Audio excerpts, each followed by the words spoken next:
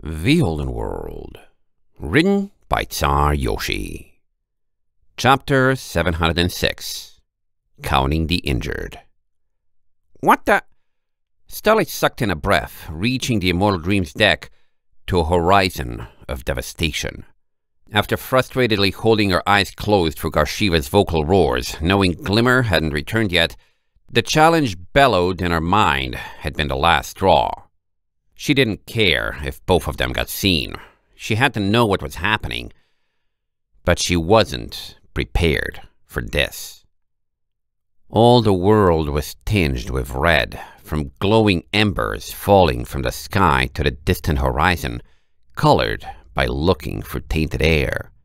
Fires burned fitfully in the crater where Isvaldi's capital had stood, and it took several seconds for Starlight to even recognize the remains of the structure, though the river and distant body of the township gave it away.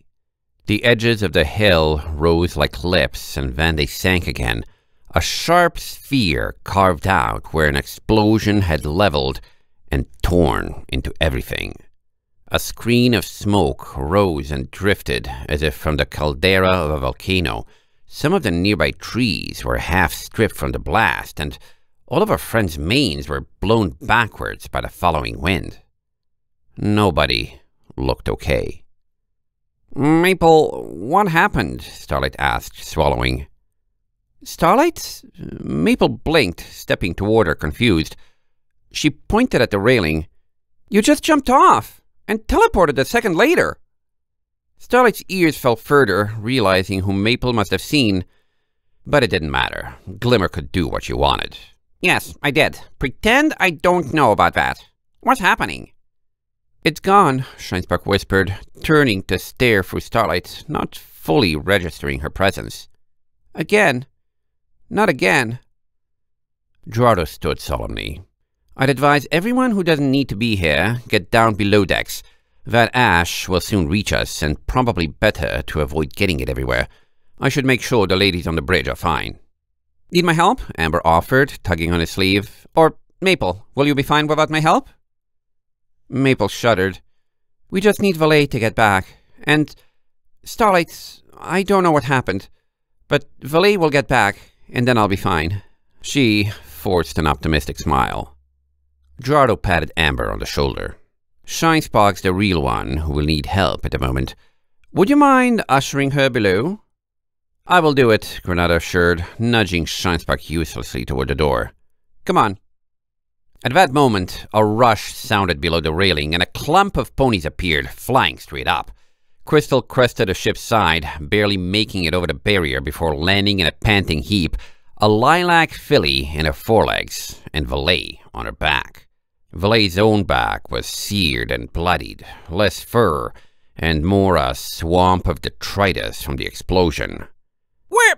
Valet's eyes flickered, fighting to stay focused. Ow! Valet! Maple jumped towards the pair, skidding and blinking when she saw their full conditions. Valet wasn't stable, Crystal was exhausted. There was a catatonic starlight on the floor. With a wordless sigh, Starlight approached her counterpart, staring at the glimmer's sightless, unconscious eyes. Angry energy periodically danced along her horn, and she could feel the filly's fever from steps away. What did you do? Glimmer didn't register her presence. Starlight? Maple's eyes were taken off the two bat ponies for a whole second. What? Take care of Valet, Starlight requested. I know who she is. I'll take care of her. Maple blinked again as Starlight pulled Glimmer from the pile, wincing at the heat from the filly's horn. It's just like you when... She swallowed. Right, Valet. Valet, what happened? Caught in the explosion. Valet gritted her teeth, hooves scraping the ground as Crystal crouched beneath her, but didn't get her off. Starlight! Bananas! Why are there two? Did that thing she does where she blows herself up saving everyone? Oh, please tell me we have medical supplies. Beneath her, Crystal breathed heavily, low against the ground and refusing to speak. You, uh, Maple swallowed again. You look...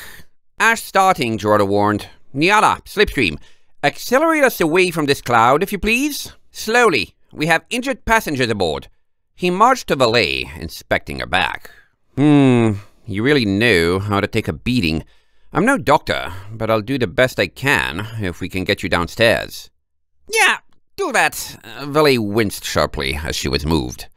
Granada and Shinespark had already departed inside, and now Gerardo and Amber carried in Valet, tailed by Jamjars, who kept shooting curious looks at the two Starlights. That left Starlight, Glimmer, Maple, and Crystal. And as the ship began to move, none of them knew who should speak first. Um, hello, Maple said, badly shaken, eyes now drifting to Crystal's belly. I heard about you, she added in a quiet voice. Quaint, Crystal coughed. I don't do socializing. I need a bed and someone to check me for injuries. Maple winced. Okay, we have those. I'm not a doctor, but can I give you a hoof? Crystal ignored her, staring at herself and sitting halfway upright. You're still here, she panted down at her child. Nearby, Starlight had gotten Glimmer onto her back, the other filly breathing fitfully. Maple, help? I don't know what to do with her. Maple glanced at the starlights, utterly dazed. Get her to our room. Miss Crystal, can you walk? There's a room. Down below, Gerardo, Amber, and Valet had stopped in the library, where Harshwater lay on her back doing basic exercises and trying to coax her limbs into usefulness. Valet? She gaped, seeing the Bat Pony's condition. Ow! Valet greeted, unable to wave. What's up? Harshwater slumped and sighed. It sounded like something big was happening. I was trying to see if I could build up enough strength to properly move in however many minutes it's been. Valet winced, and Gerardo nodded. Things are over, if not under control. I don't suppose you have any medical training from your previous career? We're slightly limited on supplies, and things are, well... Passable, but this looks really bad. Harshwater pulled herself upright using a chair, staring at Valet with surprise and concern. Get her laying down immediately. Back up. Try not to move. Use sheets you won't mind getting wet, because we need to clean that and see how bad it is. We have fresh rooms, and are there any other injuries? Hoofsteps sounded on the stairs behind them, and then Maple was there, Crystal walking stubbornly beside her, and Starlight carrying Glimmer on her back. Injuries? You can help? Maple asked, fixing Harshwater with a hopeful stare. Harshwater sighed. What is it? She wobbled her way over to the newcomers, nearly tripping and carrying herself with a wall. Her eyes went to Glimmer first. Horn trauma, something magical. Cold water rags for her forehead.